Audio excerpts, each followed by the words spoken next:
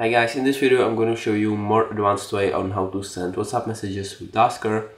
The way I showed you before is also great, but you would have to save all of your numbers as a contact and as a name in those contacts. So it isn't as, as great because if you want to send a WhatsApp message just to a number, you couldn't use the method I showed you before. So in this video I'm going to show you a better way how to send WhatsApp messages to Tasker.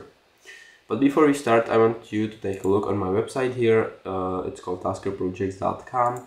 You can basically order any custom Tasker project there. Uh, you can also go through projects for sale to take a look if, so, if you're interested in something.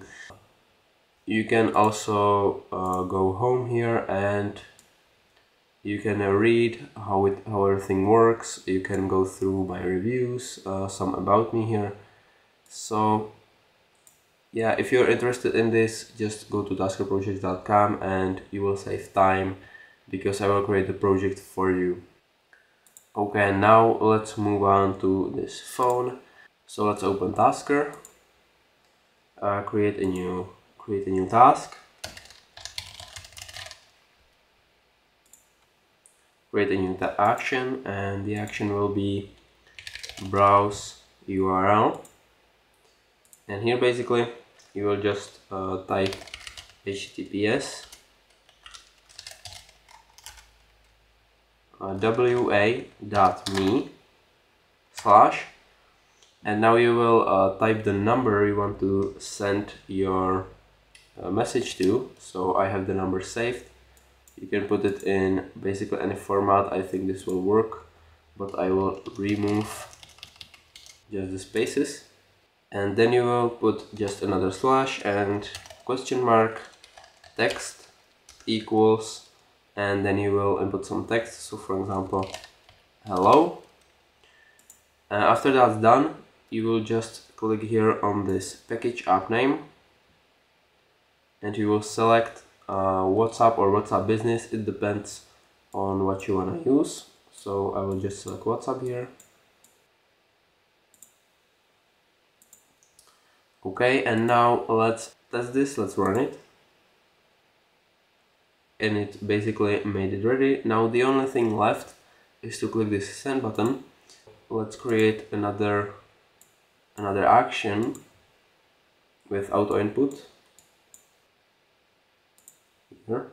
Actions v2 it's better. Actions to perform. Uh, yes so you will need help. You will click find and let's go to WhatsApp here. Let's find this button. I think it has a nice ID yep the first one. Find it by, by its ID first found.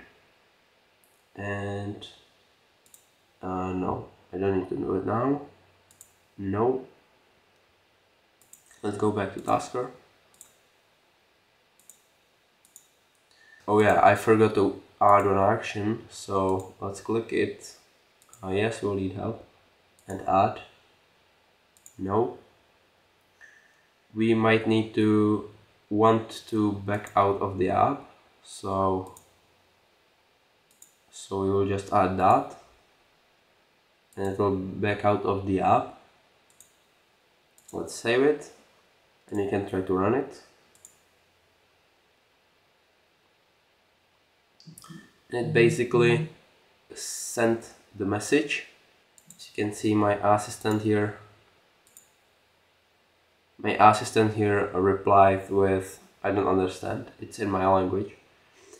But uh, it, it sent the message correctly. Now if we want to extend this the professionality you can create a new new variable God, I can't write. You can create a new variable and use it here.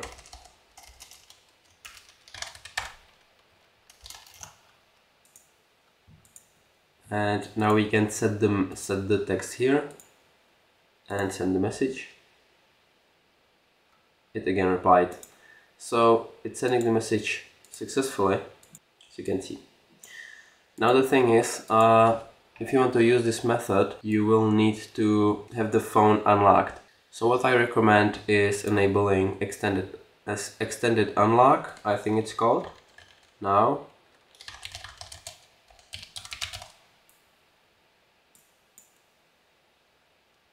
uh, extend unlock this right here and you will just I can't set it up here but you will set it up. Your phone will be unlocked in some places or if you're wearing a watch just the phone will be unlocked. And then you can you can use you can use unlock screen here. And this will unlock the screen if it's locked. So when you run this task and the phone is locked and the screen is off and this task is uh, performed by some action or something, it will send the message as expected. So I recommend using this if you want to have your phone do it automatically. So yeah, that will be about sending this WhatsApp message. So I hope I helped you a little bit uh, if you have more questions, uh, put it in the comments. Or if you have uh, another another video idea, you can also uh, say it in the comments. I will create the video based on your requirements. So thank you for watching and have a nice day.